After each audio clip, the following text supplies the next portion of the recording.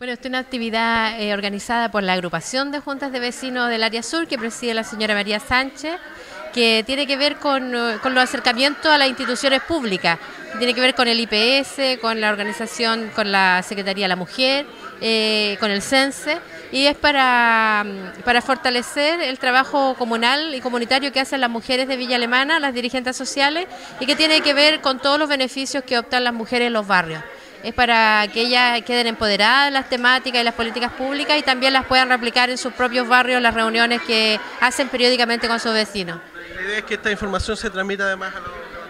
Claro, la idea es que se replique a los vecinos porque el dirigente social es quien es la primera fuente de información hacia sus vecinos, de, de los programas de gobierno, de las políticas públicas, de todos los nuevas de todos los nuevos programas que se van eh, implementando para favorecer a, la, a, las mujeres en los sectores del área sur de Villa Alemana. En, en esa área, ¿cuáles son las necesidades más urgentes que ustedes? Bueno, nosotros dentro de una reunión anterior que tuvimos acá en este mismo espacio hace una semana atrás, lo que más eh, demandan las mujeres es el emprendimiento, ya el emprendimiento a, a nivel básico de, de para las mujeres que tiene que ver cómo emprender un negocio, cómo su manualidad convertirla en un, una especie de negocio a baja escala para ir ejerciendo el emprendimiento y también optar a los programas de gobierno. En general, ¿cuál ha sido la, el recibimiento de, de esta convocatoria? La verdad es que sí, como usted ve, ya han llegado bastantes mujeres, hay algunas que están en una reunión del consultorio, pero ya vienen para acá, ellas vienen a interiorizarse también y a formar parte de esta red de mujeres que se va a formar acá en Villa Alemana. Se pretende formar la primera unión comunal de mujeres, como existe en Santiago, una unión comunal de mujeres potente que existe en Santiago, se quiere replicar una acá en Villa Alemana también.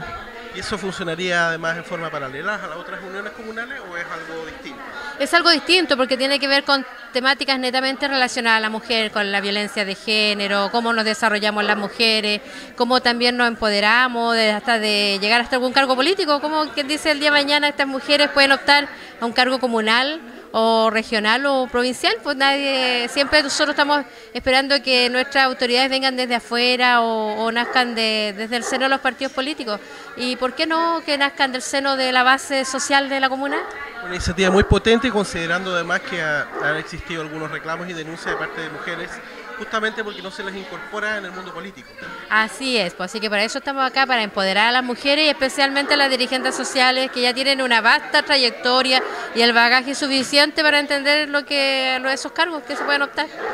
Nosotros hoy día estamos haciendo un taller que lo está promocionando el IPS y que está con la participación del CENSI y del FOSI.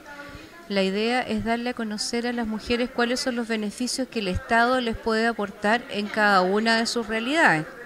Además de eso, buscamos hacer un levantamiento también de necesidades, poder saber dónde están, quiénes son, cómo ubicarlas, para que el Estado pueda en sus políticas de inversión considerar las necesidades que las personas tienen y abocar los esfuerzos a satisfacer las necesidades. El IPS enfrenta el desafío de poder cubrir una parte de la población que no tiene previsión, una parte de la población que está en un estado de vulnerabilidad. Y dentro de eso, las mujeres son un estamento importante, pero para poder ellas impetrar los beneficios que el Estado tiene, primero tienen que saber que son sujetos de derecho, tienen que conocer cuáles son, acercarse a nuestras sucursales, acercarse a las instituciones del Estado para que el Estado les diga cómo las puede ayudar y cómo puede hacer que tengan una mejor calidad de vida. Nosotros buscamos que las mujeres se organicen, para poder, eh, para poder ir hacia ellas es más fácil si ellas están organizadas, si ellas están bajo un alero de una junta vecinal, si ellas han constituido una agrupación, para que nosotros podamos contactar a sus dirigentes y ellas a su vez decantar la información y podamos llegar a todas y cada una de ellas. Bueno, la verdad es que el, IPS eh, desde hace algún tiempo a esta parte está queriendo resolver eh, los temas eh, que requiere la ciudadanía de manera más directa. Para aquello es que estamos acercándonos a cada una de las poblaciones y en este caso es un tema de género. Queremos que las mujeres de Vía Alemana puedan saber eh, con, con, con, mayor exactitud eh, cuáles son los beneficios que el Estado le está brindando y especialmente todos aquellos que eh, nosotros como Instituto de Previsión Social podemos otorgarle. Eh, de ahí es que han venido personas de Santiago especialmente, hemos invitado a mm, gente del CENSE y gente del FOSI para que le pueda comunicar y podamos difundir aquellas políticas sociales que vienen en directo beneficio de, especialmente de las mujeres. Vía Alemana tiene características bien especiales. La verdad es que hay un sector rural que está muy vinculado con el, sector de, de Casa Blanca. Aquí, aquí en Vía Alemana se da una característica de que hay un sindicato de eh, temporeras, por ejemplo, que trabajan en, en Casa Blanca y obviamente que este, este eh, cursito, digamos, esta exposición, está hecha preferentemente para las mujeres rurales y en específico para las mujeres temporeras. Y efectivamente, la verdad es que estamos muy orgullosos porque eh, hemos logrado que en muy poco tiempo, fíjese que ha aumentado en un 5.000% el consumo de nuestros productos. Eso, eh, la verdad, que nos hace sentir muy orgullosos de lo que estamos haciendo.